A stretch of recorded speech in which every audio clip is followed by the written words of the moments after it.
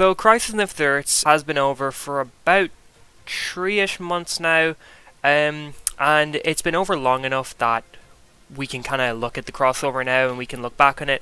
Uh, I've seen Crisis probably about in full. I've probably seen it about nine or ten times by this point.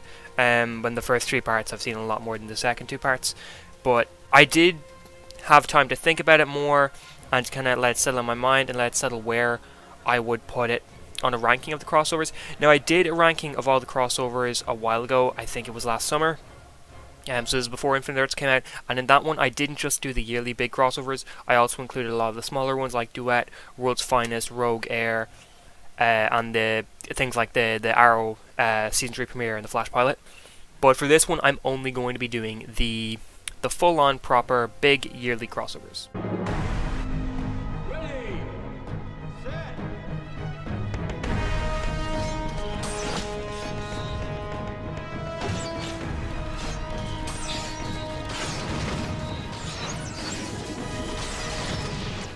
So in sixth place, I have the very first crossover, which is The Flash Season 1 Episode 8 and Arrow Season 3 Episode 8, and it goes by Flash vs. Arrow or The Brave and the Bold, um, whichever you want to call it. But this is the very first uh, yearly crossover. It was the one that brought together both Arrow and Flash to fight Rainbow Raider on the Flash's episode, and then Captain Boomerang on Arrow's episode.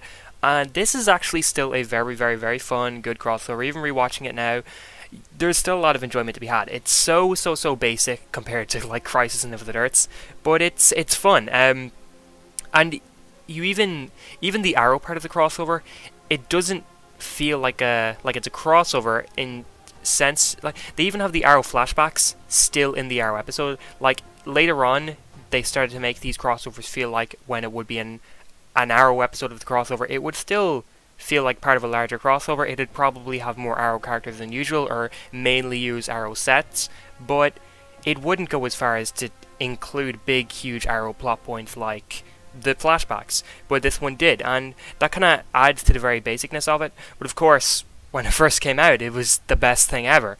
Um, plus, seeing Flash and Arrow fight was really cool. Um, the fact that no one really won the fight. I know you can kind of make arguments for either way, but when you really look at it, you kind of think that neither of them really won. Um, they were both very good at fighting. They both held their own.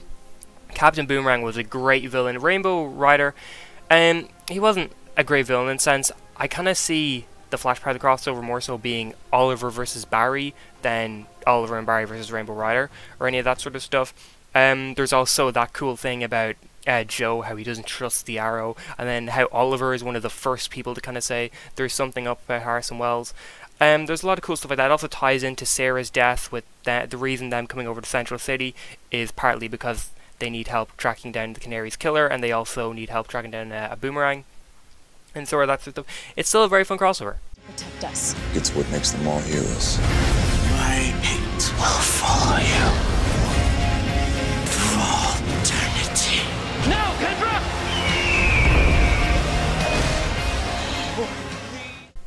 In fifth place, I have the second crossover, and that's Heroes Join Forces, which was The Flash Season 2 Episode 8 and Arrow Season 4 Episode 8. And this is essentially the crossover that set up Legends of Tomorrow, since it introduced Vandal Savage, it introduced Hawkman and Hawkgirl, and I think that this is a lot of people's least favorite of the big crossovers, mainly because um, there's a lot of drama, unnecessary drama in the Arrow part of the crossover that definitely does bring the whole thing down, and that's when Oliver goes looking into William, looking into his son for the first time. Um, that Felicity kind of comes out of nowhere and is very unnecessarily angry and aggressive towards Oliver, and that means Oliver's head's not in the game, and that means that basically all of Central City gets destroyed in a different timeline. Um, and it's completely understandable that that annoys a lot of people. It annoys me too.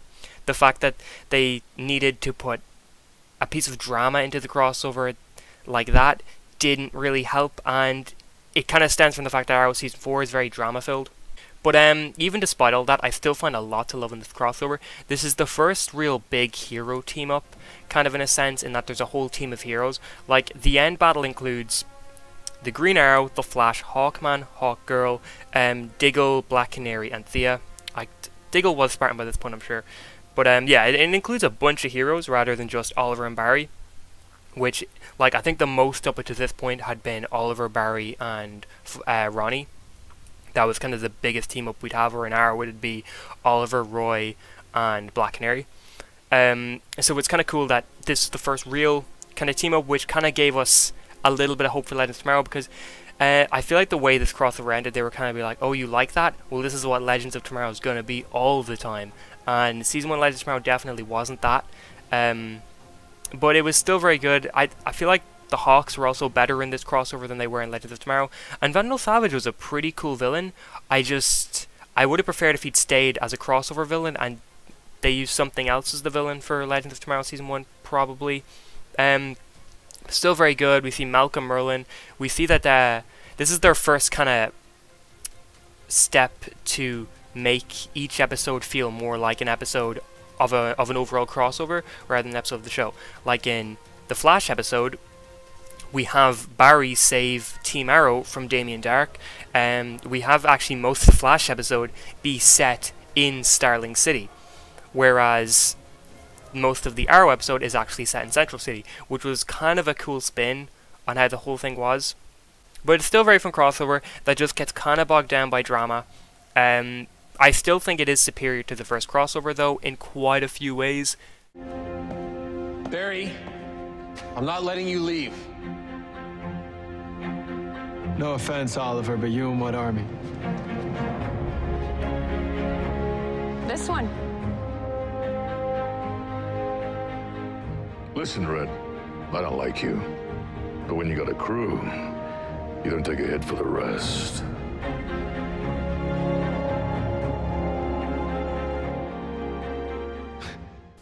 And in fourth place, I have Invasion, which is the third crossover. So basically, every year up until Invasion, I thought the crossovers were getting just better and better and better. I, honestly, every year up until on Earth X, I thought the crossovers were getting better and better and better every year. But um, Invasion was obviously the Dominators come in. It's also the introduction of Supergirl into the crossover, the big crossovers. Um, now this one is kind of interesting because I know a lot of people also don't really feel that warm about this crossover, which is probably due to the fact that Supergirl's episode ended up being a Supergirl episode with a little bit of a tie-in at the very end, and that's understandable. They they kind of tease this as a four episode crossover, but it's definitely only a three episode crossover. But I still think there was so much to love about this. It does feel a little bit disjointed with Arrow's 100th being the middle episode. Um, I've personally I'm fine with it because it gave Arrow the chance to do a lot of cool things for their 100th that they probably wouldn't have gotten the chance to do if they'd just stuck as a normal Arrow episode. Um, but it does feel a little disjointed in the fact that we go from a very crossover heavy episode to an episode that is very, very, very obviously all about Arrow and Arrow's cast to an episode that is, again, crossover focused. If you're not a huge Arrow fan going into this crossover, you're not gonna kind of like that middle episode, you're going to find it to be a step down and to kind of unnecessarily slow the plot down. Um, so I completely understand where people are coming from on that point. Uh, like if I was a huge Flash fan and I just kind of watched Arrow and I didn't love Arrow, I would have been kind of annoyed that all of a sudden this whole crossover is slowed down because a show I don't really care about much has to have its hundredth in the middle of it. Um, plus, it's kind of unfair that for Arrow, they just they threw the 100th in as an episode of the crossover, but when it came to Flash's 100th, they moved the crossover to a later episode so that the Flash could have its 100th uninterrupted. Um, so it's a little bit annoying that they didn't do that for Arrow. But I still find lots of love about this crossover. The final fight was the biggest thing we'd gotten up to this point. Um, and it's still fantastic. I love that team up shot of everyone standing there and then they run at the Dominators. Um, there's a bunch of heroes in this that this is kind of their only time in the Arrowverse to get to shine. Like uh, Firestorm and um, Steel, they get a lot to do in these crossovers, or in this crossover, they don't get a lot to do in the later ones. Like Crisis and Earth X is pretty much the last crossover for both Nate and uh, Jax and Martin, but um, they get a lot more to do in this crossover than they do in Earth X. So this is kind of a lot of time where a lot of Legends characters get a lot to do, which I really liked as well. Plus, the Waverider was used very well in this crossover. I felt like most of the characters were used very well. Uh, the first episode has a decent bit of unnecessary drama with kind of the whole Cisco thing and the whole being annoyed by Flashpoint and all that sort of stuff. Like, yes, it was a topic that had to be brought up due to the fact that Flashpoint changed characters in Arrow. Like Diggle, who basically lost a child. Like he gained another child, but he still had lost a child due to Flashpoint. Um, and while that did need to be brought up, I did feel Flashpoint took up a little bit too much of the episode in terms of talking. So part one does have a little bit of that sort of stuff in there. Um, but other than that, I can't really think of a lot of things that I don't like about this crossover. In third place is the most recent one, and that is Crisis on Infinite Earths. Now, I have a lot of gripes with Infinite Earths. A, a lot of gripes with it. Um, and to be honest, I was quite disappointed with this crossover. It it there was a lot of things that either could have been done better, or I think that they should have done or shouldn't have done. Like um, I'm very very very kind of annoyed with how they handled Oliver in this crossover. Him becoming Spectre is cool in theory, but I don't think that's the way they should have went with his character in this. I don't think they should have killed off Oliver's human form in the first episode.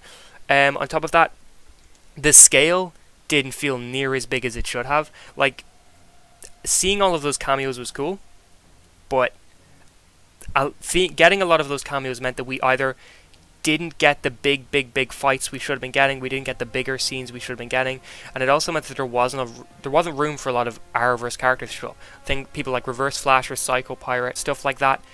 They should have been in this crossover, and they were nowhere to be found because their screen time was given to characters from different shows or movies um, that had never been involved with the Arrowverse. Like I love seeing all that, but I think that maybe if Crisis had been longer, like maybe if Crisis had been basically a mini series with like eight episodes, then definitely do the the cameos. But since this was a tight five episode plot going throughout five Arrowverse shows, they probably should have just stuck to keeping this as a strictly Arrowverse sort of thing. Um, but that's just my opinion on it. I I think that a lot of people probably will disagree on that because of how cool it was seeing some of those characters come back. But um, also the Smallville, I loved the Smallville cameo when I first saw it, but after thinking about it more and more, I'm not too happy with how they handled Clark in that, um, mainly because it doesn't line up with Smallville Clark that he'd give up his powers like that, especially since this could only have been about 10 years after Smallville ended, which meant that Clark in Smallville's timeline would only have been Superman for about 10 years by the time he decided to give up his powers. It doesn't make a whole lot of sense to me. Um, but that said, this crossover is still vastly superior to all the other ones just in terms of scale, in terms of cool moments, in terms of feeling like a crossover. Um, like, Black Lightning gets introduced in this. We get revealed that Black Lightning is now in the Arrowverse. That is so great. Um, we get the destruction of Supergirl's Earth. We get Superman in this, and not just kind of in a smallish way. Superman is a pretty big deal in this, to the point where we have Brandon Routh playing a version of Superman. There's things like this that um I definitely make this crossover superior to the to most of the prior ones, but I still just felt that they could have handled this a lot better. Uh, I know a lot of this comes out to the fact that the CW just, on the CW and WB and all of them, just wouldn't give them the money they needed to make a proper, proper, proper crossover. But I still thought that they did a pretty good job for what they had. Um, I just there's there's some parts I just wish could have been more. We have Nazis alone. Who needs an army when you got legends? All right, we're on the move.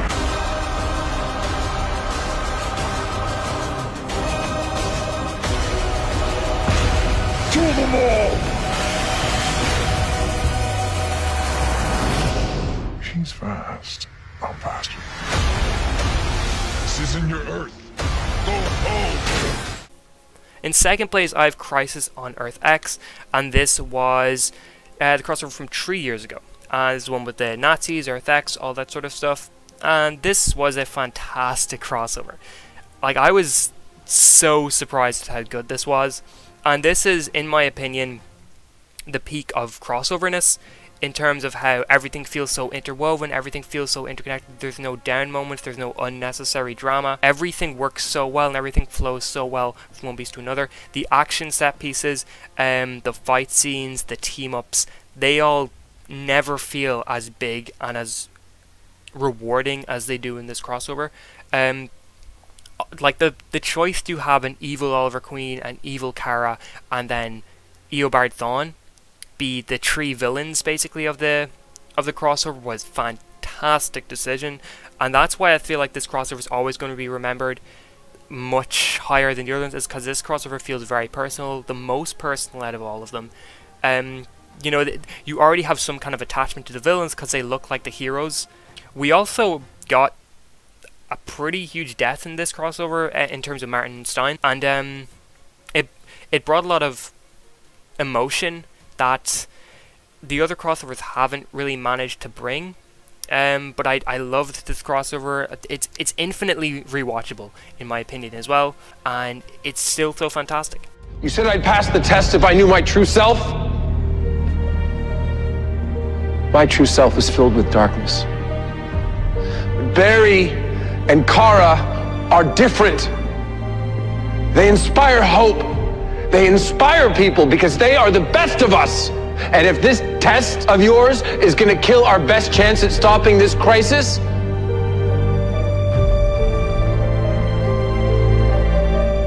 well, as gods go, you're not a very smart one. And in first place, I have Elseworlds. I love Elseworlds, mainly because of how much it hypes up Crisis. I guess is that it makes things feel scary. It makes it feel like things are going to be dark in the future. Um, also, the the switching between Oliver and Barry in terms of Flash and Green Arrow was great. There's um, we get the Smallville campfire. This is the first crossover that Superman is in, and that um, the the team up at the end of the first episode feels like feels like something that you'd see in the Justice League animated series, which was so fun. Uh, the Monitor is great. The the scene with Oliver talking to the Monitor about saving Barry and Kara towards the end of part three is still one of the best moments in the entire Arrowverse. Deegan is a is a surprisingly good villain. And we get the introduction of Batwoman. We get uh, John Wesley Shipp back as his 1990s version of The Flash. There's so much cool stuff like that in here. And the soundtrack is also, in my opinion, probably the best the soundtrack has been in the entire Arrowverse. There's there's a lot of bits of music in this that um I think are unparalleled in all of, in all of these shows. But overall, I felt that Elseworlds was the best written crossover. Like it might not be the biggest stakes, the highest stakes, all that sort of stuff. But this felt very character centric. This felt like we got we really got time with Oliver and Barry and Kara together one last time before Oliver will go out in crisis. Um, this is also the most Oliver and Barry get to do in the entire Arrowverse, I feel like, with maybe just the early seasons of Flash kind of rivaling it. But um, just because of that, I felt like seeing these three characters interact for most of this crossover without the the wide range of other characters around them really, really, really benefited the crossover, the characters, the writing. It, it gave them a chance to do a lot of things that they haven't gotten to do in a while. But yeah, I just love Elseworlds. There's not really much more I can say about it, but I think it's fantastic. Um, but yeah, that is how I'd rank all six of the big crossovers. Why don't you tell me your ranking? And if you like this video, please like, share, subscribe, and all of that. And I hope you're staying safe with um with COVID out there. It, it's not an ideal time but we're going to get through it. So thank you very much for watching, and I will talk to you all soon.